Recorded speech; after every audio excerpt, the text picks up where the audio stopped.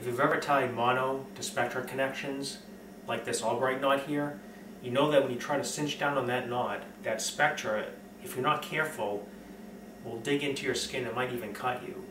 And that's especially true if you've been fishing all day and your hands are kind of wet and soft. Usually at, at a minimum it's kind of painful to pull on that knot and then there's always the chance that it, that it cuts through you. I know that's happened to me a couple of times.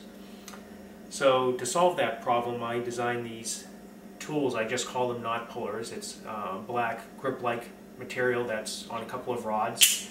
They're held together magnetically, um, so you can put them on the table and they won't uh, roll around on you because they are circular.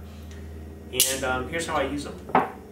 Basically, I'll take the main line and tag end of some 40 pound Izorline Triple X monofilament and I'll just wrap it around the rod three to five times. You just have to be careful that you don't wrap the line over itself. Just spiral it up there. And do the same thing with the Spectra mainline tag end. And this here is Jerry Brown 65 pound solid Spectra. Now you've got it wrapped around the rods and just you got your knot there in the middle, hopefully you can see it. And just pull in opposite directions. Now I actually had this one already cinched down, uh, but this illustrates the point. You make your knot, uh, you don't fully cinch it by hand, but you work it by hand to get it in the right place, and then you can just um, pull on it and tighten down on it. And I didn't feel anything. Uh, that was easy on my hand.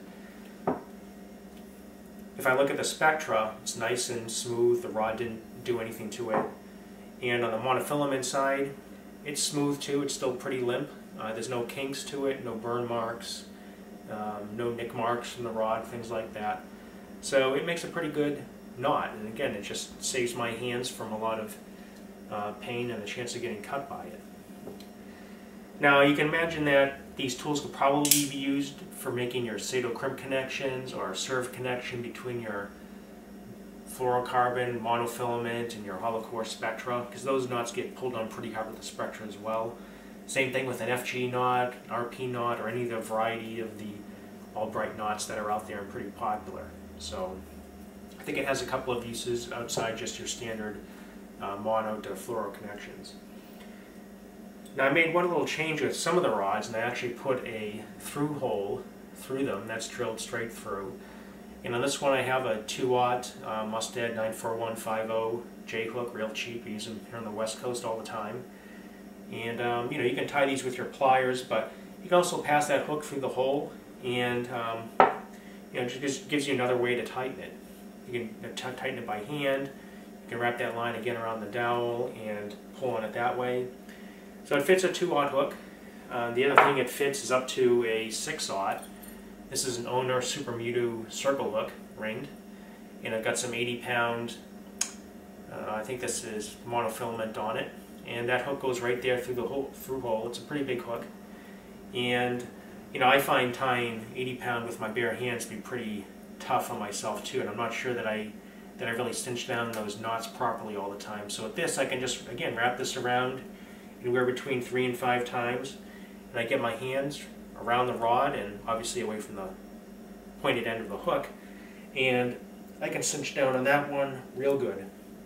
Um, quite a bit harder than I can do with my hands. And again, the monofilament isn't kinked. It's not doesn't have nick, nick marks on it. It's not um, burnt in by the rod or anything like that.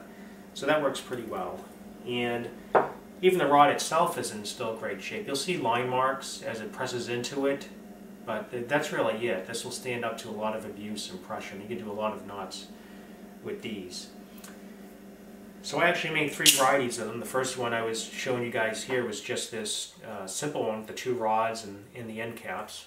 The second one uh, that you haven't seen yet is one where I actually put a light into it. It's just a push button on-off switch. It should stay lit, lit for about uh, 80 to 100 hours, so plenty long enough for most folks. Again, these are magnetically held together as well.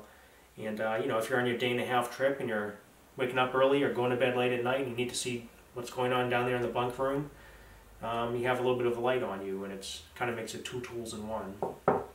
And then the last one that you saw again is is the rods with the light on it and then this variety has the through hole uh, drilled into it. So, you know, we have three different varieties and Um, I'm not sure which are most popular with folks, but I'll talk about that in a minute.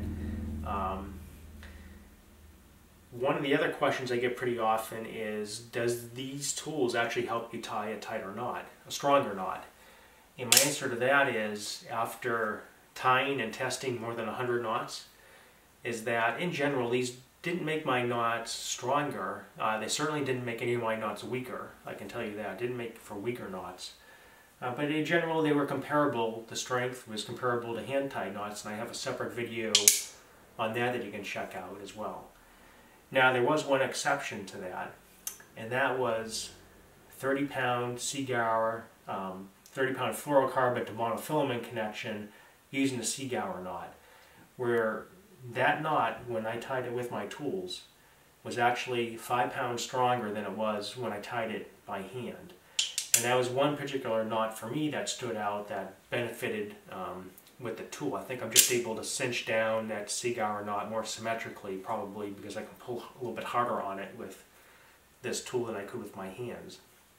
Um, so it, it, helped me with that knot. I'm not sure if it would help you with that knot uh, yourself, but it may help you with one other knot that you tie often. Um, but for sure, it doesn't make your knots weaker, and it definitely does save your hands against uh, pulling on the Spectra.